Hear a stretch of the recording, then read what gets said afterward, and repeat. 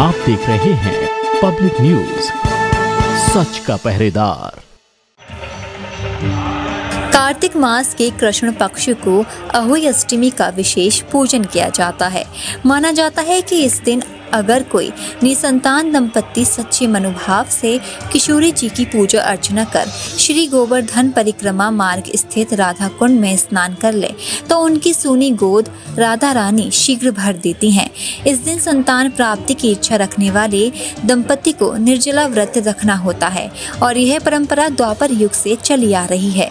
यहाँ निवास करने वाले पुजारी दान बिहारी शुक्ल का कहना है कि इस चमत्कारी राधा कुंड में सच्ची श्रद्धा रखने वालों पर राधा रानी की असीम अनुकंपा रहती है। कल रात के 12 बजे यहाँ पर एक मेला लगेगा और जो मेला है, ये राधा कुंड और श्याम कुंड के दोनों कुंडों पर लगेगा। किसी के संतान नहीं होती है, संतानों के मर जाती है। लड़की लड़कियों, लड़का नहीं होता, कोई बच्चे भी नहीं होते हैं। तो यहाँ स्नान करने से पुत्र प्राप्ति होती है।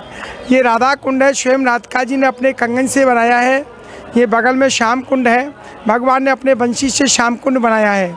इसके लिए एक पैंटे का फल छोड़ना पड़ता है। और राधा रानी की सुहाग पिटारी का जो सामान होता है, साड़ी है, चूड़ी है, बिछिया है, जो यहाँ पर देने पड़ते हैं। और जो लेडीज़ यहाँ स्नान करते हैं, जो जो पुराने कपड़े को यहीं छोड़ जाते हैं तो ये राधा कुंड राधा रानी जो पुत्र प्राप्त देने वाली अहुई अष्टमी में ये इसकी माँगता प्राप्त होती है।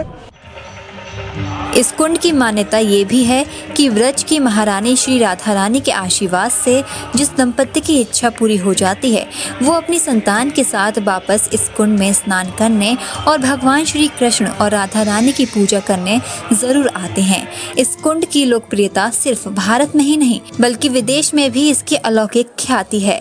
कहा जाता है कि दुनिया के किसी भी कोने से अगर मन में सच्ची भावना रखकर कोई दंपत्ति इस कुंड में स्नान करने आता है तो उसकी मनोकामना किशोरी जी ज़रूर पूरी करती हैं। नमस्कार दर्शकों मैं खन्ना सैनी। मैं आपको बता दूँ कि हम इस समय मौजूद हैं कस्बा गोवर्धन के स्थित राधा कुंड पर बताया जाता है कि यहाँ एक संगम है श्याम कुंड और राधा कुंड के नाम से जाना जाता है।